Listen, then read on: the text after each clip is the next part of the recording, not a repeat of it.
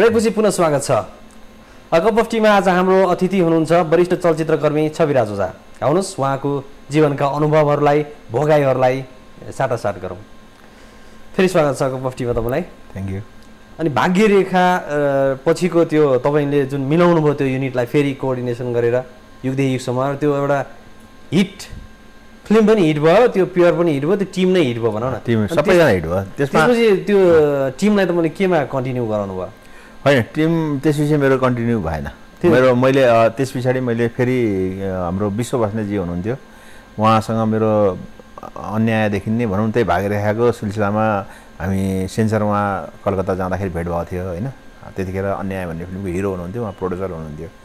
अनि उहाँसँग मेरो ट्रेनमा हामी यहाँबाट कलकत्ता जाँदाखेरि सँगै भेट भएको थियो। अनि उहाँसँग त्यसै चिन्जान पछि थियो। पछि यहाँ आइसकेपछि चाहिँ युद्धसम्म रिलिज भयो उहाँको आफ्नो फिल्म रिलिज भयो। अनि म अर्को फिल्म बनाउनुपर्छ भन्ने एउटा सोचमा म हिँडेको थिएँ। अनि मलाई मैले एक दिन उहाँलाई चाहिँ हाम्रो फोटो कन्सन छ नि फोटो कन्सन न्यु रोडमा। त्यसको अगाडि एवान सेन्टर थियो हाम्रो पुरन जोशीहरूजीहरूको त्यहाँ भेट भयो भेट भएपछि के हो दाइ के गर्दा छैन? केही पनि छैन। ल म- मेरो एउटा फिल्म गर्नुहुन्छ के? डाइरेक्सन गर्नुहोस् न तपाईँ। तपाईँ त यत्रो अनुभव भएको मान्छे भनेर। म डाइरेक्सन गर्न सक्छु भनेर। सक्नुहुन्छ दाइ गर्नुहोस्। ल मसँग एउटा स्टोरी छ। भने उहाँलाई स्टोरी सुनाएँ उहाँलाई मन पऱ्यो नाता भन्ने फिल्मको। अनि त्यो स्टोरीलाई ब्रजेश खनालजीलाई लेख्न दिउँ अनि बसेर अनि उहाँले सुरु गर्नु। उहाँ डाइरेक्टर फर्स्ट टाइम उहाँ फिल्ममा डाइरेक्टर हुनुभयो। युगदेखि युगसम्म पछि नाता आयो। नाता आयो मेरो। नातामा त्यो युगदेखि युगसम्मको टिमलाई चाहिँ रिपिट गराउनु भयो। त्यसमा नयाँ टिम लिएँ। त्यसमा राजेन्द्र खड्कीजी हुनुहुन्थ्यो होइन? पुरानो टिमको। अनि नातामा भुवन केसीजीसँग मैले काम गरेँ फर्स्ट टाइम भनौँ न। अनि त्यो फिल्ममा हिरो हुनुभयो श्रीकृष्णजी।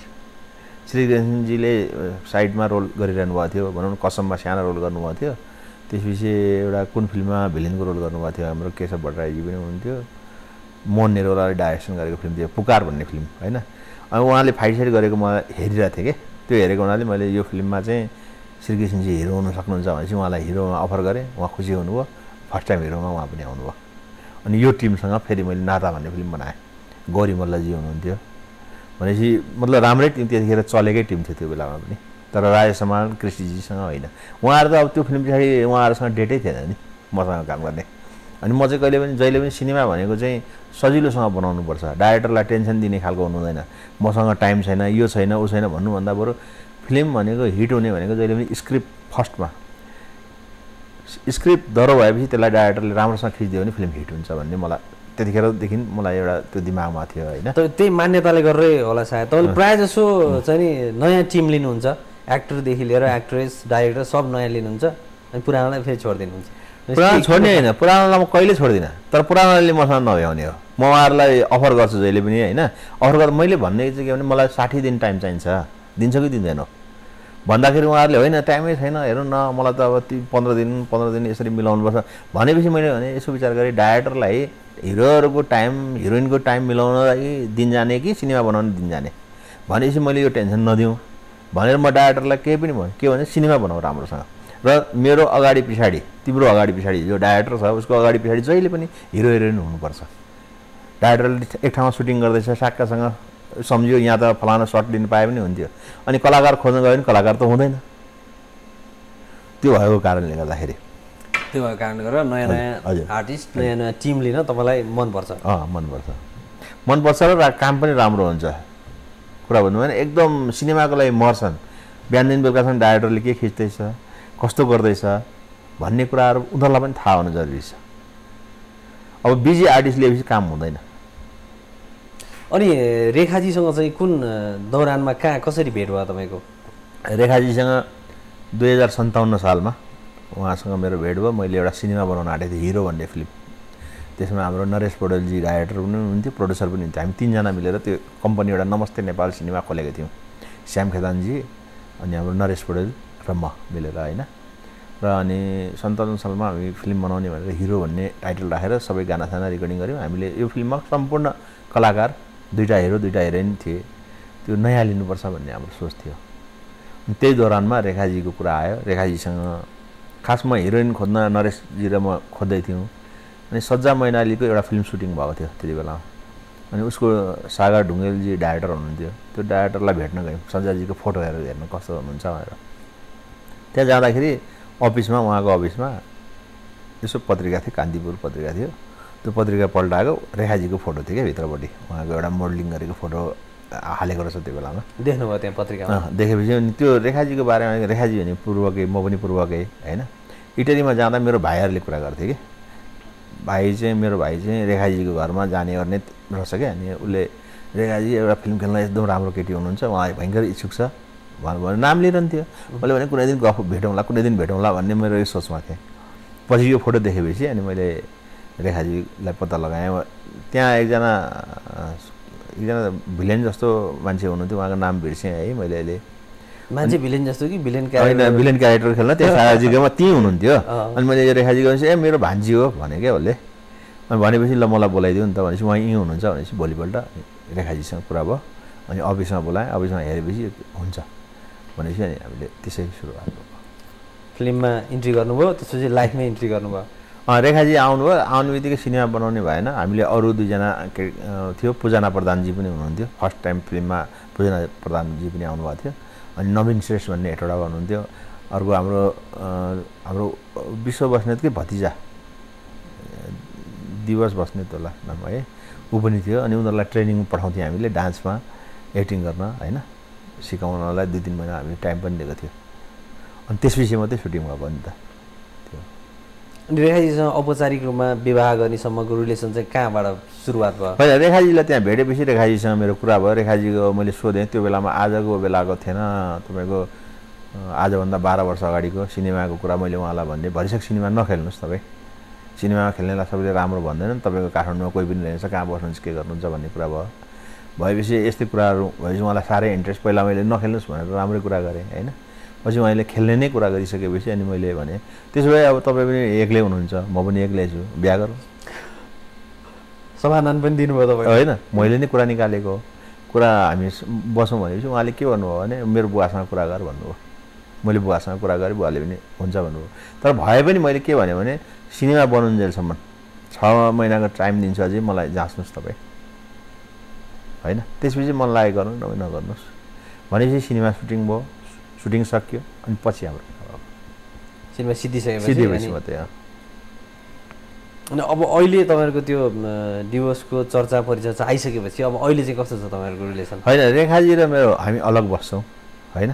म घरमा बस्छु उहाँ फ्ल्याटमा बस्नुभएको छ होइन? उहाँ आमासँग बस्नुहुन्छ म एक्लै बस्छु। र रेखाजीसँग घरमा हामी सँगै बस्ने बाहेक अरू कारोबार हाम्रो सँगै छ। व्यापार बिजनेस छ अफिस आउनुहुन्छ अफिसमा हाम्रो कुरा हुन्छ होइन? तपाईँको उहाँलाई केही सोध्नु पऱ्यो भने मलाई पनि फोन गर्नुहुन्छ अहिले पनि होइन? मैले केही सोध्नु पऱ्यो भने म डाइरेक्ट फोन गर्छु। अब मेरो हमेसामा पनि उहाँ हिरोइन नै हुनुहुन्छ भनेपछि अरू यथावतै छ खालि हाम्रो। जुन सम्बन्ध छ एउटै घरमा बस्ने सम्बन्ध थियो त्यो सम्बन्ध अहिले छैन। पारिवारिक सम्बन्ध नरहे पनि नरहे पनि व्यावसायिक सम्बन्ध। व्यावसायिक र म रेखाजीको रेखाजीको चाहिँ म एउटा गार्जेन नै हो नि त। सिनेमा इन्डस्ट्रीमा फर्स्ट उहाँले पाइला टेक्दादेखि म छु उहाँको सँगै। मैले औँला दिएर उहाँलाई घु डोराएँ जस्तै हो नि बाह्र वर्ष त डोराएँ नि मैले। होइन? उसको गार्जेन हो म गडफादर भने पनि हुन्छ त्यसलाई इङ्ग्लिसमा भन्छन् नि होइन? एक किसिमको मैले भनौँ अब उसले मलाई मान्छ पनि त्यही कुरा छ होइन? अब भेट्न पनि आउँछ अस्ति बाउको मुख हेर्ने दिनको बेलामा उसले गडफादर होस् म हेर्न आउँछु भनेर आयो। मलाई भेट्न आयो कोसेली लिएर आयो। भनेपछि त्यो रिलेसन त छ नि।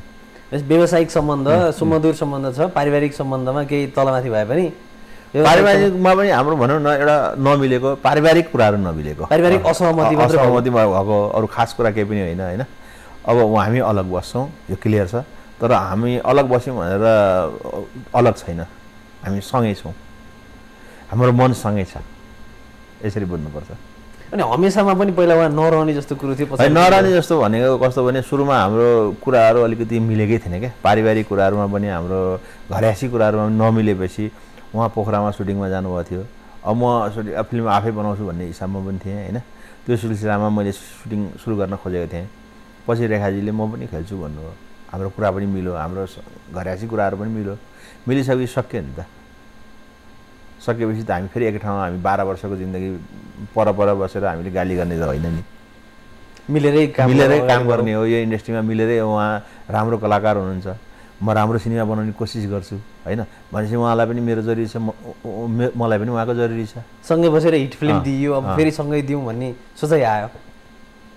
जस्तै नर्मली तपाईँको फिल्ममा चाहिँ के देखिन्छ भने धेरै जसो टाइटल चाहिँ नि हिन्दी फिल्मकोसँग मिल्या देखिन्छ जस्तै अन्दाज भयो जस्तै अहिले बनलाय हमेसा भयो। अब युगदेखि युगसम्म पनि क्यामत से क्यामत तकको हुबहु नेपालीमा उल्था गरे जस्तो थियो। हिम्मत किस्मत तपाईँको के अरे हिफाजत होइन अन्दाज होइन अब तपाईँको अहिले रावण हिन्दी फिल्मको? टाइटल म हो किन रावण अब अहिले हमेसा तर तपाईँले भन्नुहुन्छ है अगर हिन्दी फिल्मको टाइटल भएको भए विकास बोर्डले इजाजतै दिँदैन थियो। नेपाली शब्दकोश छ मसँग नेपाली शब्दकोशमा पल्टाएर हेरेँ मैले होइन हेरेपछि सबै नाम छ। नाम भएपछि मैले राख्नु नपाउने। भनेपछि के नेपाली नेपाली भयो भने तर हिन्दीमा इस्टाब्लिस भइसकेको टाइटल नै ल्याउनु भएछ त्यो त अब हाम्रो सिनेमासँग मिल्छ मिलेपछि राख्नु पऱ्यो नि।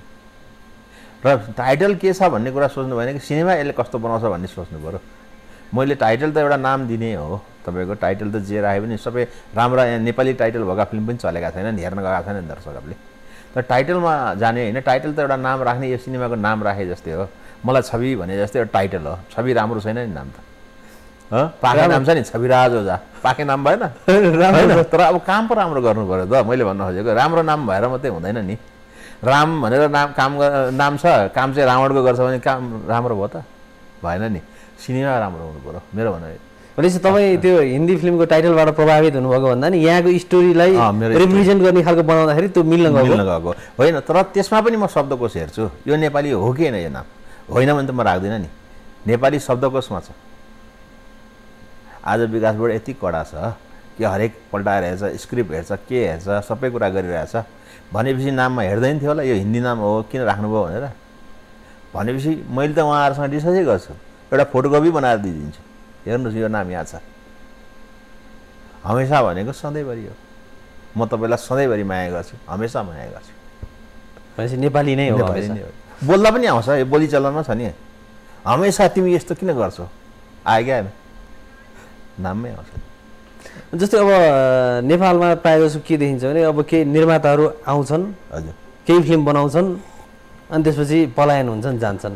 तपाईँ चाहिँ लामो समयदेखि अब फिल्म इन्डस्ट्रीमै सक्रिय हुनुहुन्छ फिल्म इन्डस्ट्रीबाटै आफूलाई इस्टाब्लिस गराएर राम्रो अब आम्दानी गरेर एउटा स्ट्यान्डर्ड लाइफ जीवनयापन गरेर बसिरहनु भएको छ भने तपाईँ के हो? सफलताको रात चाहिँ के हो तपाईँको म एउटा कृषक हो। म सिनेमाको मतलब सिनेमा बनाउने काम गर्छु सिनेमा उब्जाउँछु। बुझ्नु भएन अब कस्तो हुन्छ भने कहिले पानी राम्रो पऱ्यो भने खेती राम्रो हुन्छ होइन? परेन भने राम्रो हुँदैन। तर म भाग्न त भाग्दिनँ नि। एउटा कृषक भाग्छ त आफ्नो जमिन छोडेर। मेरो पेसा मेरो खेती भनेको त सिनेमा उद्योग हो नि। भनेपछि मैले यहाँ कहिले राम्रो होला कहिले नराम्रो होला म यही लाइनमा आज पच्चिस वर्षदेखि छु। मेरो बिहान उठेदेखि बेलुकासम्म मेरो कामै सिनेमा बाहेक अरू सोच्ने नै छैन। कसरी चाहिँ राम्रो हुन्छ? छिमेकी देशमा कसरी सिनेमा बनिरहेछ? म मेरो बिहानदेखि बेलुकासम्म हेर्ने यो काम हो। अब अरू साथीहरू कस्तो छ भने कसैको अर्को काम हुन्छ अर्को काम हुन्छ अर्को भने चारतिर काममा मतलब भनाइ छ नि दुइटा खु- त्यो नाउँमा दुइटा खुट्टा मतलब दुइटा नाउँमा एउटा खुट्टा खुट्टा राख्यो भने लडिन्छ भनिन्छ नि सेम कुरा हो। मेरो अरू कामै छैन। सिनेमा मात्रै काम भएको हुनाले पनि भगवान्ले पनि गरिखा भनेर दिएको पनि हुनसक्छ नि त। मेरो त पच्चिस वर्षदेखि मेरो अरू कामै गरेको छैन। मेरो अरू कुनै मेरो पहिचानै छैन। मेरो सिनेमा बाहेक छवि ओझाले सिनेमा बनाउँछ भन्दा बाहेक अरू केही काम सुन्नुभएको छ आजमा कुनै सुनेको छैन। अनि नसुनेपछि के हुन्छ भने मेरो बिहानदेखि बेलुकासम्म मेरो कामै सिनेमा बनाउने। भनेपछि अरूले पनि निरन्तर रूपमा कुनै पनि। कुरामा निरन्तर मान्छे लागिरह्यो भने त्यहाँ हुन्छ भन्ने कुरा छ नि। प पढ्ने मैले भने अघि म पढाइमा फेल थिएँ। म पढ्दै पढ्दैन थिएँ त्यही छ त। म पनि त फेल भएँ नि लाइफमा। तर अब मेरो काम बच्चादेखि नै म सिनेमा मात्रै हेर्दै सिनेमाकै बारेमा सोच्थेँ। राति उठ्दा पनि सिनेमा र डाइलेक्ट बोल्ने यही मात्रै गर्थेँ। आएर मैले सिनेमा बनाउनु रहेछ। बनाएँ नि। जस्तो तपाईँलाई आफै सन्तुष्टि प्राप्त गरेको फिल्म चाहिँ कुन चाहिँ? यो फिल्म बनाएर मैले बहुत राम्रो काम गरेँ भन्ने जस्तो लाग्यो होइन अहिलेसम्म मैले बनाएको फिल्ममा चाहिँ अब अरू फिल्मको तुलनामा कम चल्यो होइन? तर मेरो पैसा उठाएको थियो। अजम्मरी नाता भन्ने सिनेमा मलाई बहुत राम्रो लागेको थियो। मैले आफूले बनाएको सिनेमा अहिलेसम्मको फिल्ममा होइन? त्यो चाहिँ कस्तो भने एउटा म्यासेज फिल्म थियो बालबच्चाको बारेमा थियो। बच्चा एडप्ट गर्ने बारेमा थियो होइन? त्यो सिनेमा राम्रो पनि थियो धेरै राम्रो पनि थियो र त्यो सिजन वाइज अब अहिलेको जस्तो होइन अहिले बेसिजनमा पनि फिल्म लगाएको थिएँ मैले जेठतिर लगाएको थिएँ। त्यति चलेको थिएँ तर काठमाडौँमा राम्रो चलेको थियो पैसा उठेको थियो मेरो फिल्म तर सिनेमा चाहिँ मलाई सबभन्दा सन्तुष्टि त्यही फिल्मबाट हुन्छ। अब धेरै आर्टिस्टहरूलाई पनि ल्याएर तपाईँले इन्ट्रोड्युस गराउनु भयो फिल्म इन्डस्ट्रीमा होइन? तपाईँलाई चाहिँ नि त्यो कोबाट चाहिँ धेरै सन्तुष्ट हुनुभयो भनौँ न यसलाई चाहिँ ल्याएर मैले राम्रो काम गरेँ भनेर। होइन म मैले अहिलेसम्म ल्याएको सबै कलाकारहरू राम्रो छ हेर्नुहोस्। आज मेरो फिल्मबाट आउने राजेश समालजी महानायक हुनुभयो आज। पुरा यहाँ तपाईँको पन्ध्र बिस वर्ष उहाँले एक्लै आफ्नो कन्दामा इन्डस्ट्रीलाई लिएर हिँड्नुभयो। उहाँलाई पनि म सुलट गर्न चाहन्छु। को कोलाई ल्याउनु जस्तै भनिदिनु। होइन कलाकार त मेरो धेरै छ। अब राय समाल हिरोमा श्रीकृष्ण तपाईँको विपना थापा जन्मभूमिबाट विपना थापालाई पनि फर्स्ट फिल्ममा मैले लिएको होइन। त्यसपछि हाम्रो रेखा थापाजी होइन पूजना प्रधानजी होइन। अब भन्नुपर्दा हाम्रो यस्तै रहेछ जिन्दगीबाट। अरुणिमा लम्सालजी आउनुभएको होइन यस्तै रहेछ जिन्दगी भन्ने फिल्मबाट। आर्यन सिग्देल। आर्यन सिगदेल किस्मतबाट हो। सबिन श्रेष्ठ। सबिन श्रेष्ठ अन्दाजबाट। किशोर किशोर कसले चोरे मेरो मनबाट? रावण हुँदै लङ्का अहिलेसम्म आइसक्यो। अब मेरो यही हमेसामा पनि छ। अनि डाइरेक्टरमा चाहिँ को कोलाई ल्याउनु भयो डाइरेक्टरमा प्रदीप श्रेष्ठ होइन अझ मरि नाता गर्नुभयो उहाँले।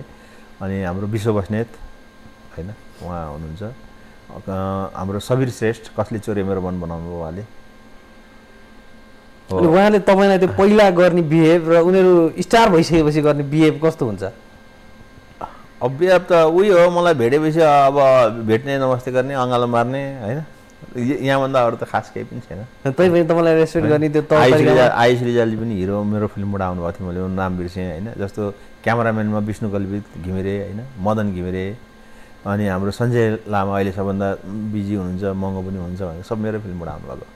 जस्तो उहाँहरूले तपाईँलाई गर्ने बिहेभ चाहिँ कस्तो हुन्छ? पहिला उहाँहरू त्यो स्ट्रगल गर्दाखेरिको फेजमा र पछाडि इस्टाब्लिस भइसकेपछिको फेजमा मलाई त्यस्तो लाग्दैन होइन। फेरि म नर्मल टाइपको मान्छे मलाई त्यति फरक पनि पर्दैन।